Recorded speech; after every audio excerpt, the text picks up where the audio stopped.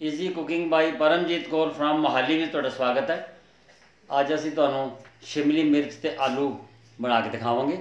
ਇਹਦੇ ਵਾਸਤੇ ਜਿਹੜੀ ਜਿਹੜੀ ਚੀਜ਼ ਦੀ ਜ਼ਰੂਰਤ ਤੁਹਾਨੂੰ ਵਨ ਬਾਈ ਵਨ ਦਿਖਾਣੇ ਆ ਆ ਜੀ, ਸਭ ਤੋਂ ਪਹਿਲੇ ਆ ਤੋਂ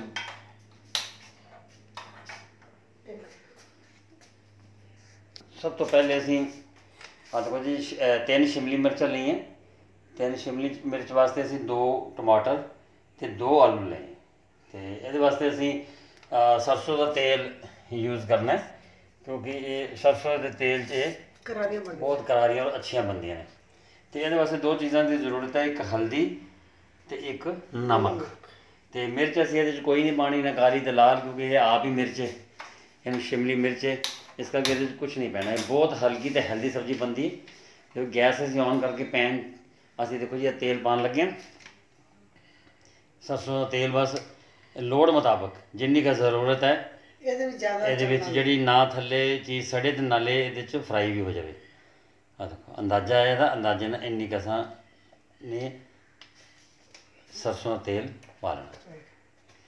ਅਸੀਂ ਹੁਣ ਸਟਾਰਟ ਕਰਦੇ ਹਾਂ ਪ੍ਰੋਸੈਸ ਇਹਦਾ।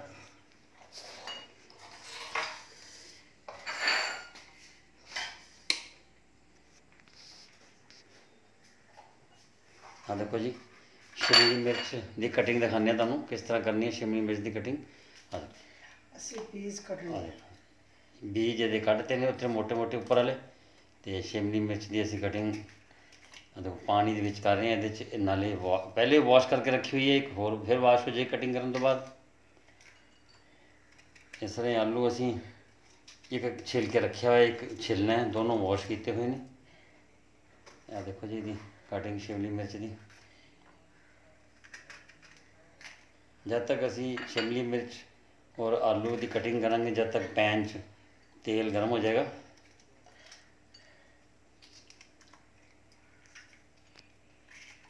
ਪਾਣੀ।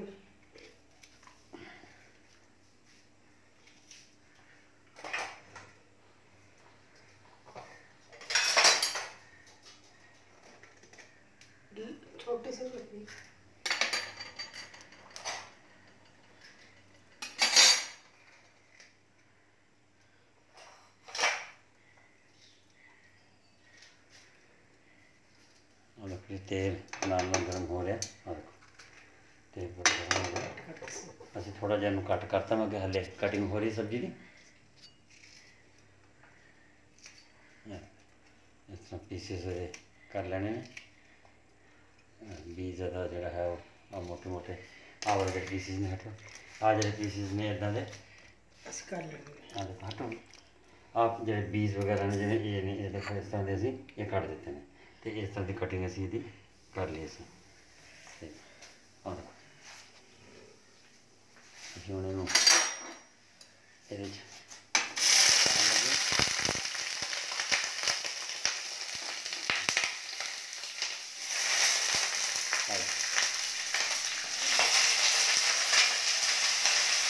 ਥੋੜ੍ਹਾ ਜਿਹਾ ਪਿੱਛੇ ਹੋ ਕੇ ਥੋੜਾ ਜਿਹਾ ਇਹਨੂੰ ਪਾਣਾ ਪੈਂਦਾ, ਕਿਉਂਕਿ ਇੱਕਦਮ ਇਹ ਪਾਣੀ ਤੋਂ ਨਿਕਲ ਕੇ ਪੈਂਦੀਆਂ ਥੋੜਾ ਜਿਹਾ ਘੀ ਥੋੜਾ ਜਿਹਾ ਉਛਲਦਾ। ਇੱਕ ਵਾਰੀ ਜਦੋਂ ਪੈ ਗਿਆ ਉਸ ਤੋਂ ਬਾਅਦ ਬਸ ਕੀ ਹੈ। ਜਿਹੜਾ ਤੇਲ ਪਾਇਆ ਹੈ ਸ਼ਾਂਤ ਹੋ ਜਾਂਦਾ। ਆਲੂ ਦੀ ਕਟਿੰਗ ਅਸੀਂ ਆ ਜੋ ਦੇਖੋ ਜੀ ਆਲੂਆਂ ਦੀ ਅਸੀਂ ਕਟਿੰਗ ਰਾਉਂਡ ਸ਼ੇਪ ਕਰਨੀ ਹੈ ਇਹਦੀ ਤਾਂ ਕਿ ਇਹ ਬੜੀ ਈਜ਼ੀ ਗਲ ਜਾਂਦੇ ਨੇ। ਆ ਇਹਦਾ ਅਸੀਂ ਛਿਲਕਾ ਉਤਾਰਾਂਗੇ। ਇਹ ਛਿਲਕਾ ਸੀ ਆਲੂ ਦਾ ਪਹਿਲੇ ਉਤਰਿਆ ਹੋਇਆ ਸੀ ਇਹਦਾ ਅਸੀਂ ਉਤਾਰ ਦੇਣਾ ਹੁਣ ਉਤਾਰ ਕੇ ਤੇ ਇਹਦੀ ਰਾਉਂਡ ਸ਼ੇਪ 'ਚ ਕਟਿੰਗ ਕਰ ਲੈਣੀ ਤਾਂ ਕਿ ਬਹੁਤ ਜਲਦੀ ਇਹ ਗਲ ਜਾਣ।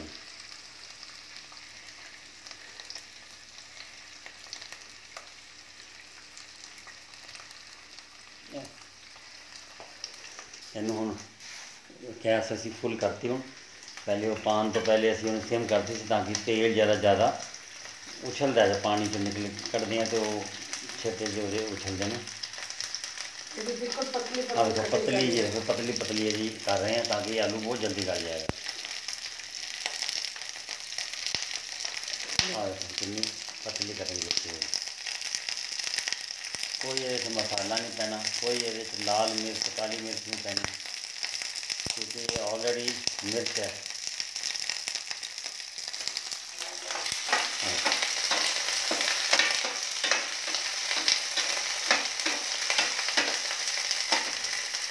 ਆਹ ਦੇਖੋ ਹੁਣ ਅਸੀਂ ਆਲੂ ਹੁਣ ਇਹਦੇ ਵਿੱਚ ਅਸੀਂ ਆਲੂ ਮਿਕਸ ਕਰ ਰਹੇ ਹਾਂ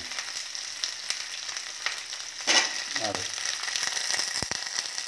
ਆਲੂ ਅਸੀਂ ਮਿਕਸ ਕਰਤੇ ਨੇ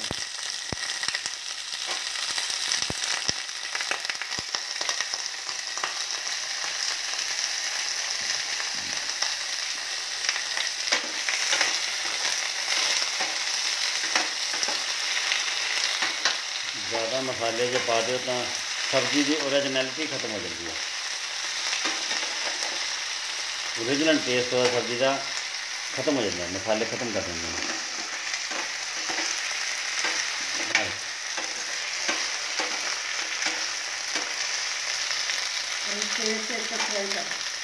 टेस्ट एक से फ्राई कर रहे हैं।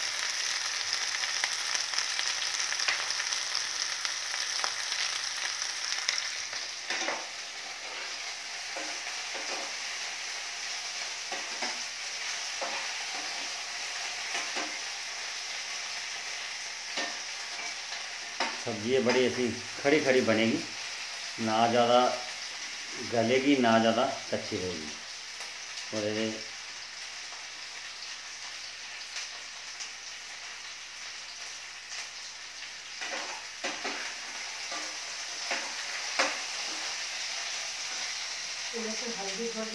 हाँ देखो हूँ असं थोड़ी फ्राई कर ली। फ्राई करने तो बाद असं हल्दी ऐड कर देनी है। और हल्दी बहुत है।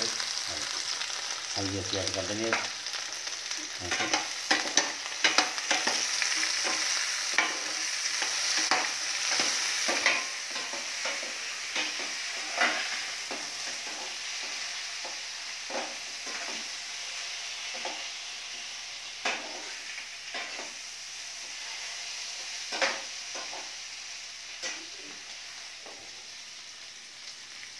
ਆਹ ਦੇਖੋ, ਹਲਦੀ ਅਸੀਂ ਨਮਕ ਐਡ ਕਰਨ ਲੱਗੇ ਨਮਕ ਇਸ ਬਸ ਘੱਟ ਕਰਨਾ ਦੇਖੋ ਜੀ ਇਹਦੇ ਵਿੱਚ ਨਮਕ ਇੰਨੇ ਕੁ ਮਟੀਰੀਅਲ ਵਾਸਤੇ ਇੰਨਾ ਕੁ ਨਮਕ ਪਾਣਾ ਮਟੀਰੀਅਲ ਵਾਸਤੇ ਇੰਨਾ ਘੱਟ ਹੀ ਪਾਇਆ ਕਿਉਂਕਿ ਇਸ ਇਸ ਘੱਟ ਪੈਂਦਾ। ਬਾਕੀ ਆਪਣਾ ਟੇਸਟ ਦੇ ਮੁਤਾਬਿਕ ਹੈ। ਜੇ ਕਿਸੇ ਨੂੰ ਜ਼ਿਆਦਾ ਖਾਣਾ ਹੈ ਤਾਂ ਜ਼ਿਆਦਾ ਪਾ ਸਕਦਾ।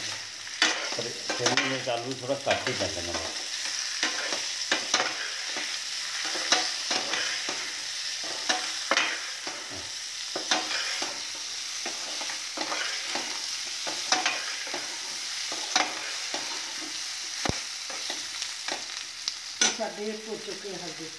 ਅਸੀਂ ਹਲਦੀ ਹਲਦੀ ਵੀ ਭੁੱਜ ਗਈ ਹੁਣ ਅਸੀਂ ਹੁਣ टमाटर ਅਸੀਂ ਇਸ ਟਮਾਟਰ ਆਟੋ ਇਸ ਤਰ੍ਹਾਂ ਮੋਟੇ ਮੋਟੇ ਪੀਸ ਕੱਟ ਕੇ ਪਾਣਾ ਇਹਨੂੰ ਅਸੀਂ ਬਰੀਕ ਨਹੀਂ ਪਿਓਰ ਹੀ ਨਹੀਂ ਬਣਾਉਣੀ ਹੈ ਯਾਰ ਇਸ ਤਰ੍ਹਾਂ ਨਾ ਜ਼ਿਆਦਾ ਛੋਟੇ ਤੇ ਨਾ ਜ਼ਿਆਦਾ ਵੱਡੇ ਟੁਕੜੇ ਦੀ ਕੱਟਣੇ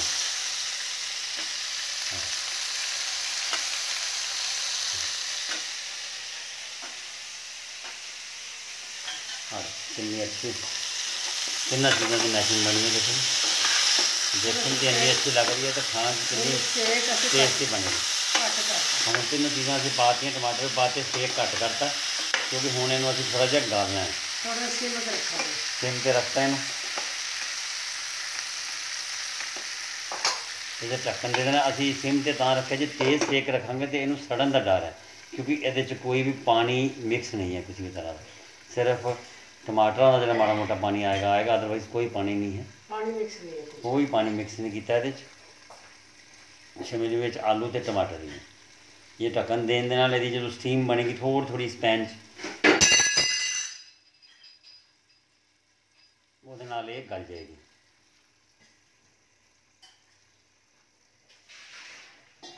ਆਹ ਦੇਖੋ। ਬਹੁਤ ਸਿੰਪਲ ਬਹੁਤ ਹੀ ਈਜ਼ੀ ਤਰੀਕਾ ਹੈ। ਔਰ ਬੜੀ ਹੈਲਦੀ ਸਬਜ਼ੀ ਬਣਦੀ ਹੈ। ਸਿਰਫ ਸਬਜ਼ੀ ਦਾ ਹੀ ਇਹਦੇ 'ਚ ਟੇਸਟ ਹੈ ਨਾ ਸ਼ਿਮਲੀ ਮਿਰਚ ਆਲੂ ਔਰ ਟਮਾਟਰ ਦਾ। ਜੇ ਕੋਈ ਸਬਜ਼ੀ ਜ਼ਿਆਦਾ ਗਾਲ ਦਿਓ ਤਾਂ ਫਿਰ ਉਹਦਾ ਟੇਸਟ ਨਹੀਂ ਰਹਿੰਦਾ।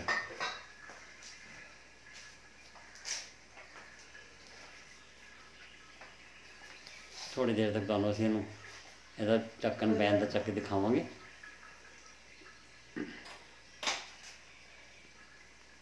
ਐਸੀ ਬਹੁਤ ਗੱਲ ਨਹੀਂ ਹੈ। ਖੜੇ ਖੜੇ ਰੱਖਣੀ ਮਿਰਚ ਖੜੇ ਖੜੇ ਰੱਖਣੀ ਗੱਲ ਨਹੀਂ ਨਹੀਂ ਹੈ ਬਹੁਤੀ। ਟਮਾਟਰ ਵੀ। ਟਮਾਟਰ ਦਾ ਟੇਸਟ ਆਲੂ ਤੇ ਮਿਰਚ ਵਿੱਚ ਆ ਤਿੰਨੋਂ ਚੀਜ਼ਾਂ ਅਸੀਂ ਇੰਜ ਹੀ ਰੱਖਣੀਆਂ ਨਾ ਜ਼ਿਆਦਾ ਗਲੀਆਂ ਤੇ ਨਾ ਕੱਚੀਆਂ। ਦੇਖੋ 'ਚ ਕਿਵੇਂ ਇਹਦਾ ਸਟੀਮ ਜੀ ਬਣ ਰਹੀ ਪਾਣੀ ਆ ਰਿਹਾ। ਬਸ ਤਿੰਨੋਂ ਚੀਜ਼ਾਂ ਦੇਖ ਰਹੀਆਂ ਦੇਖੋ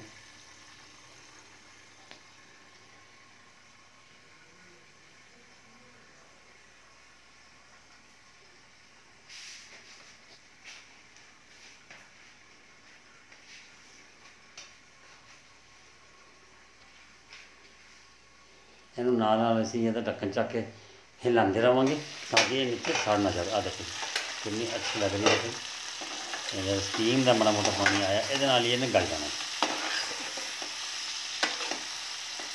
ਬਹੁਤ ਜਲਦੀ ਬਣਨ ਵਾਲੀ ਹੈ ਸਬਜ਼ੀ ਕਿਉਂਕਿ ਇਹ ਆਲੂ ਤਾਂ ਹੋਰ ਵੀ ਬੜੇ ਫਰਾਈ। ਆਲੂ ਅਸੀਂ ਕਿਸ ਤਰ੍ਹਾਂ ਦੀ ਕਟਿੰਗ ਕੀਤੀ ਹੈ? ਦੇਖੋ ਜੀ ਆਲੂ ਬਸ ਇਹ ਗਲਨੇ ਸ਼ੁਰੂ ਹੋ ਗਏ ਨੇ ਕਿਉਂਕਿ ਬੜੇ ਗੋਲ ਔਰ ਪਤਲੇ ਕੱਟੇ हैं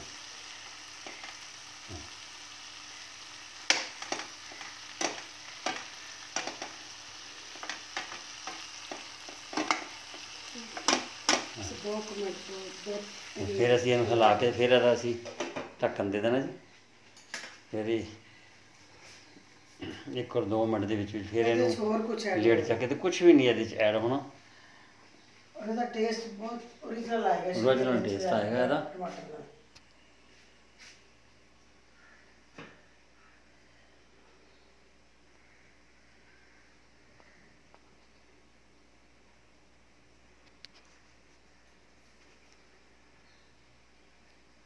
ਸਾਡੀ ਸਾਡੀ ਸਬਜ਼ੀ ਦੀਆਂ ਰੈਸਪੀਜ਼ ਬਹੁਤ ਈਜ਼ੀ ਕੁੱਕ ਹੁੰਦੀਆਂ ਸਾਰੀ ਸਬਜ਼ੀਆਂ ਈਜ਼ੀ ਕੁੱਕ ਹੈ ਈਜ਼ੀ ਕੁਕਿੰਗ ਹੈ ਸਾਰੀ ਸਾਡੀ ਤੇ ਨਾ ਜ਼ਿਆਦਾ ਮਸਾਲੇ ਪਾਣੇ ਪਾਈਦੇ ਆ ਤੇ ਨਾ ਜ਼ਿਆਦਾ ਇਹਨੂੰ ਕੋਈ, ਇਹਨੂੰ ਜ਼ਿਆਦਾ ਗਾਲੀ ਦਾ ਬਹੁਤ ਆਸਾਨ ਤਰੀਕੇ ਨਾਲ ਤੁਹਾਨੂੰ ਕੁਕਿੰਗ ਕਰਨੀ ਦੱਸਦੇ ਹਾਂ।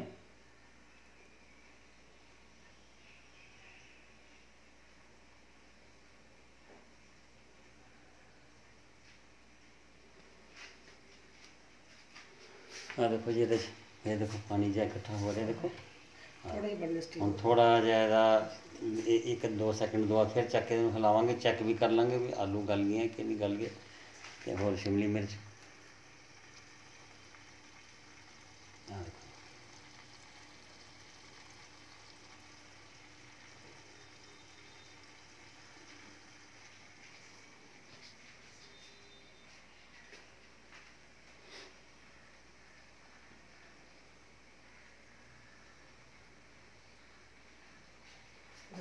ਆ ਦੇਖੋ ਜੀ ਖੋਲ ਕੇ ਫਿਰ ਦਿਖਾਉਂਦੇ ਹਾਂ ਤੁਹਾਨੂੰ ਆ ਮੇਰੇ ਖਿਆਲ ਨਾਲ ਦੇਖੋ ਚੈੱਕ ਕਰੋ ਇਹਨਾਂ ਨੂੰ ਮਤਲਬ ਟਮਾਟਰ ਵੀ ਗਲ ਗਏ ਨੇ ਮੋਟੇ ਮੋਟੇ ਪੀਸਿਸ ਨੇ ਜਿਹੜੇ ਤੇ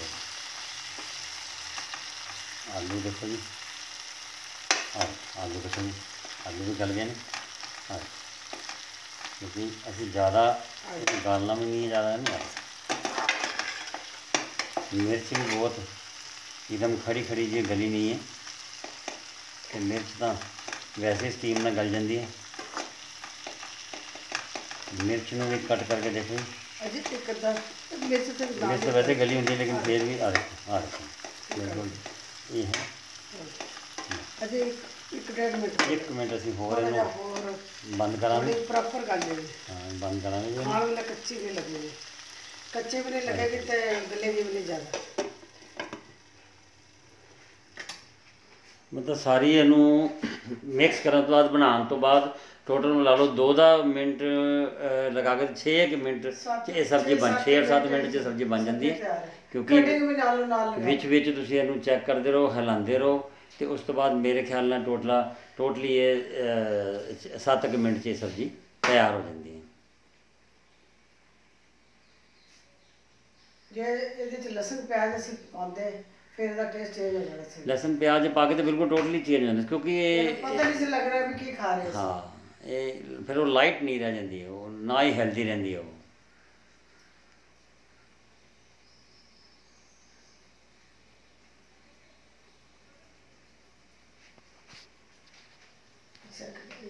ਅਗਰ ਕਿਸ ਤਰ੍ਹਾਂ? ਪਾਣੀ ਆ ਰਿਹਾ ਜਿਹੜਾ ਫਿਰ ਹੁਣੇ ਥੋੜੀ ਦੇਰ ਤੱਕ ਫਿਰ ਲਾ ਕੇ ਦਿਖਾਉਂਦੇ ਆ ਖਾਣੇ ਉਹ ਜਿਹੜਾ ਤੇਲ ਆ ਉਹ ਬਾਹਰ ਆ ਜਾਏਗਾ ਸਾਰਾ ਸਬਜ਼ੀ ਦੇ।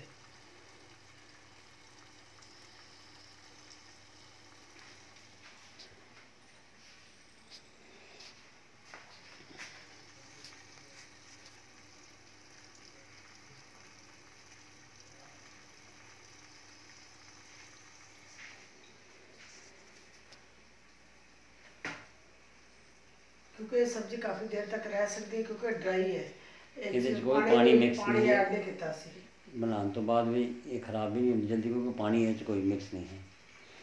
ਆ ਦੇਖੋ ਹੁਣ ਜੀ। ਆਹ ਦੇਖੋ, ਮਸਾਲਾ ਆਲਰੇਡੀ ਮਸਾਲਾ ਮੈਂ ਕਿਹਾ ਤਿਆਰ ਹੈ ਸਬਜ਼ੀ ਆਪਣੀ ਦੇਖੋ ਬਿਲਕੁਲ ਇਹਨੂੰ ਹੁਣ ਦੇਖੋ ਤੇਲ ਤੇਲ ਛੱਡ ਗਏ ਨੇ ਤੇਜ਼ ਹੀ ਛੱਡ ਦੀ ਤੇ ਮੈਂ ਲਗਾ ਗੈਸ ਵੀ ਫੁੱਲ ਕਰਕੇ ਮੈਂ ਕਿਹਾ ਜੇ ਪਾਣੀ ਜਦ ਮਾੜਾ ਮੋਟਾ ਹੋਏਗਾ ਪਾਣੀ ਹੈ ਨਹੀਂ ਸੁੱਕ ਜਾਏਗਾ ਜੇ ਇਹਦੇ ਹੋਏਗਾ ਤਾਂ ਪਾਣੀ ਹੈ ਪਾਣੀ ਵੈਸੇ ਹੈ ਹੀ ਨਹੀਂ ਇਹਦੇ ਜਦ ਘਿਓ ਹੀ ਨਿਕਲ ਰਿਹਾ ਜੋ ਤੇ ਵੀ ਖਾਣ ਦੀ ਵੀ ਲੋੜ ਨਹੀਂ ਇਹਦਾ ਹਾਂ ਇਹਦੀ ਬਸ ਨੇੜੇ ਲੱਗ ਹਾਂ। ਥੋੜੀ ਜਿਹੀ ਬੰਦ ਕਰਨ ਤੋਂ ਬਾਅਦ ਵੀ ਅੱਠ ਜਾਏਗੀ ਹੋਰ ਵੀ ਹੋ ਜਾਏਗੀ ਹਾਂ, ਅਸੀਂ ਫੁੱਲ ਵੀ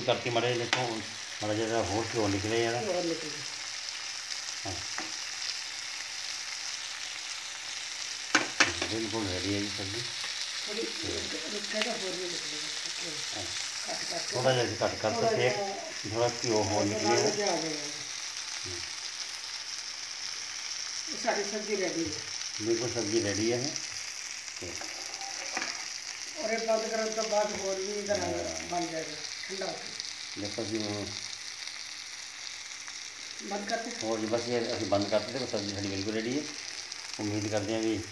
ਇਹਦਾ ਸਾਡੀ ਰੈਸਪੀ ਇਹਦਾ ਸ਼ਿਮਲੀ ਮਿਰਚ ਆਲੂ ਤੁਹਾਨੂੰ ਪਸੰਦ ਆਏਗੀ।